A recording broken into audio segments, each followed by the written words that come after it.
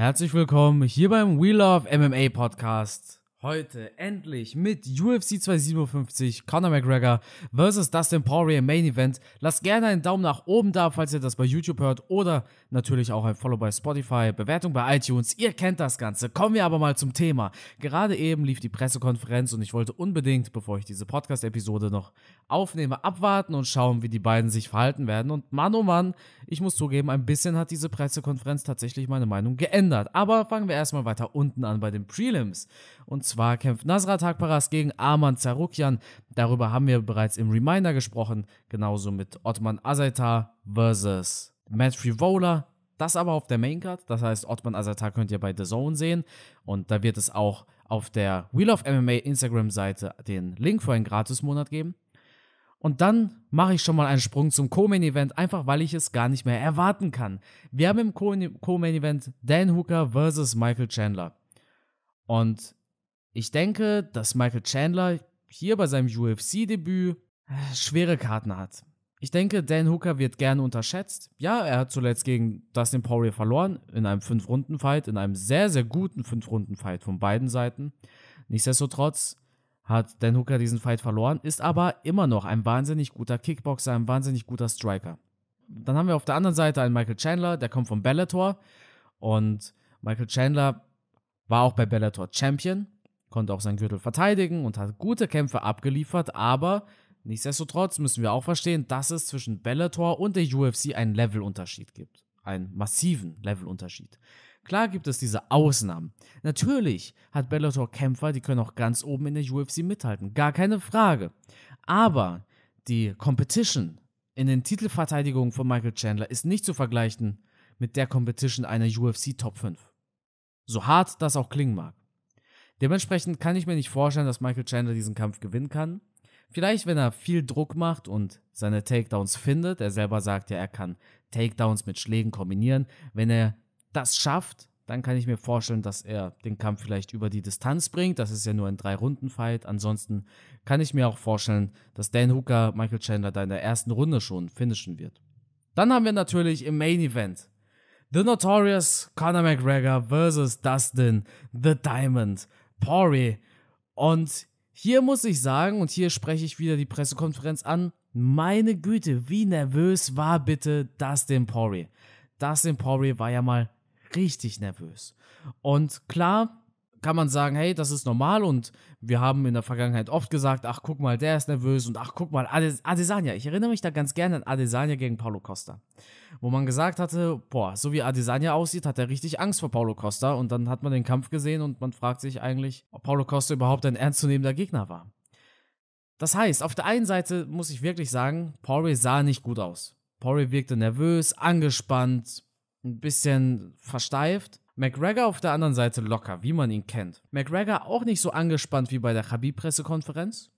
Das sind nochmal zwei Welten. Man müsste sich wirklich mal den Vergleich anschauen zwischen dem Corner bei UFC 229 und dem Corner jetzt. Das sind wirklich, wirklich zwei Welten. Es kann gut sein, dass das im Poirier, das ist der Kampf für ihn zu groß? Ich weiß nicht. War der Khabib-Fight für ihn zu groß? Er hat da ganz gut performt, finde ich.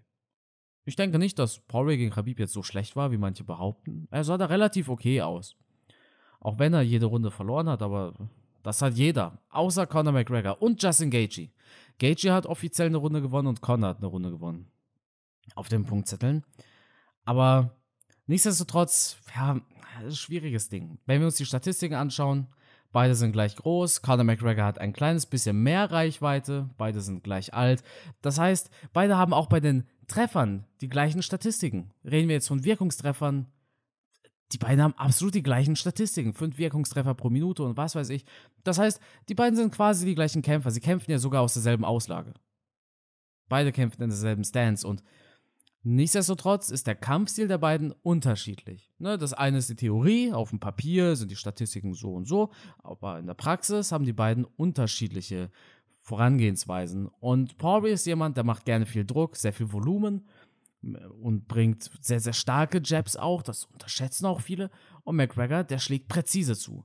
Aber wenn er hochfährt, dann trifft er hart. Und dann trifft er schnell und dann trifft er seinen Gegner so, dass sein Gegner oft gerne mal zu Boden fällt. Nate Diaz ist oft zu Boden gefallen. Eddie Alvarez mehrmals in diesen wahnsinnig guten Performances. Das heißt, wir haben einmal einen sehr, sehr präzisen Striker mit Conor McGregor, der sehr viel Power in seine Linke steckt. Und wir haben einen Striker, der über das Volumen geht. Er schlägt viel. Und klar kann Poirier auch hart zuschlagen, aber er überrollt seine Gegner gerne auch mal mit dem Druck. Wir haben das auch gegen einen Max Holloway gesehen. Wenn Poirier da einmal loszündet, dann lässt er nur schwer nochmal von einem los. Und Poirier vs. Holloway ist auch ein guter Fight, um ihn anzusprechen, weil dort haben wir gesehen, dass Poirier auch in der fünften Runde noch Luft hatte. McGregor hatte schon in der, drei, in, in der dritten Runde gegen Khabib keine Luft mehr. Oder halt nur noch ein ganz kleines bisschen. Das ist der größte Nachteil von einem Conor McGregor.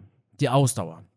Wir wissen nicht, wie sich seine Ausdauer verbessert hat. 2018 war sie nicht so gut, aber man kann auch dazu sagen, hier 2018 weißt du ja, da hatte er viel Proper 12 und seine WWchen und My Foot was a Balloon. Und wie ist es 2021? Tja, das werden wir sehen. 2020 haben wir nichts gesehen. Der Kampf ging nur 40 Sekunden. Da kannst du nicht sagen, wie viel Ausdauer ein McGregor hätte. Das ist das große Fragezeichen. Ich denke, Poirier wird gefinisht. Ich denke, Poirier wird in der ersten Hälfte des Kampfes gefinisht. Das heißt, vor der dritten Runde oder in der dritten Runde wird Poirier gefinisht. Aber vielleicht kann Poirier diesen Sturm von McGregor überleben. Vielleicht überlebt er die harten Treffer eines McGregor, geht dann auf die Distanz. Aber wenn, wenn wir hier von einer Decision reden, und McGregor sich die ersten Runden holt, dann muss Poirier zum Schluss nochmal zünden. McGregor hat in der letzten Runde gegen Nate Diaz nochmal gezündet. Er ist auch ein bisschen weggerannt, so ist nicht, aber nicht weggerannt, aber hat, hat auch ein bisschen den Schlagabtausch gemieden. Aber McGregor hat zum Schluss dann nochmal losgelegt. Und ich denke auch, McGregor könnte jetzt zum Schluss nochmal loslegen. Poiriers Schlüssel zum Erfolg ist die Ausdauer. Und das muss er auch nutzen. Wenn Poirier es schafft, seine Ausdauer zu nutzen und wenn Poirier es schafft, relativ auf Distanz zu bleiben, in diesen entscheidenden Momenten zu zünden und McGregor sehr, sehr stark unter Druck zu setzen, dann kann er den Kampf über Decision machen. Ich denke nicht, dass Poirier vorzeitig gewinnt und ich denke auch nicht, dass Connor über eine Decision gewinnt. Ich denke, dass entweder gewinnt Connor vorzeitig oder Poirier über Decision. Aber wenn ich jetzt wetten müsste, dann würde ich auf einen vorzeitigen Win von Connor wetten. Mal schauen. McGregor macht einen sehr, sehr guten Eindruck auf der PK also auf der Pressekonferenz. Wirklich sehr, sehr gut. Aber ja, Leute, ich danke euch fürs Zuhören. Ich bin mal auf eure Prognosen gespannt. Samstag auf Sonntag ab 4 Uhr live auf The Zone. Gratis-Monat gibt es bei Wheel of MMA in der Instagram Story. Das heißt, folgt gerne bei Instagram. Lasst einen Daumen nach oben da. Wir hören uns am Sonntagmorgen. Bis dahin. Ciao.